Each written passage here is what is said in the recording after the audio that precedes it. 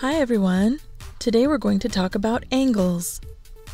An angle is the amount of turn or space between two lines that meet each other. When two lines meet at a point, or vertex, an angle is formed. The two lines are called the arms of the angle. Angles are measured in degrees, which is shown by this symbol.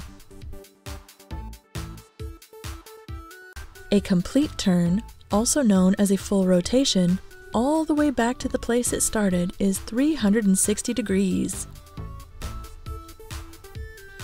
One half of a turn, which forms a straight line, is 180 degrees. One quarter of a turn is 90 degrees. This is called a right angle. There are three other types of angles acute, obtuse, and reflex angles. An acute angle is one that is less than 90 degrees. An obtuse angle is one that is more than 90 degrees, but less than 180 degrees. A reflex angle is one that is greater than 180 degrees.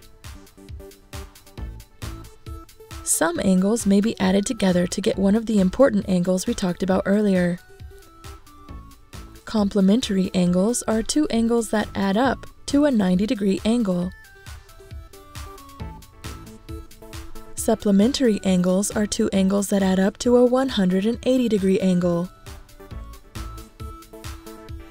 Two angles that add up to make a full circle or 360 degree angle can be called either explementary or conjugate angles.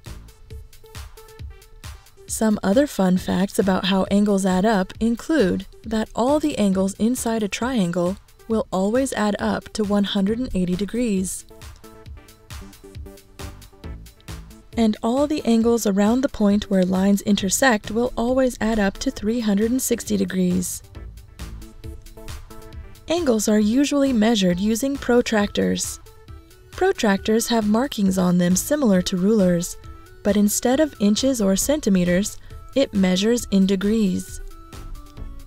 If you don't have a protractor to measure with, you can estimate how big it is as long as you remember what a 90 degree angle, 180 degree angle, and 360 degree angle look like.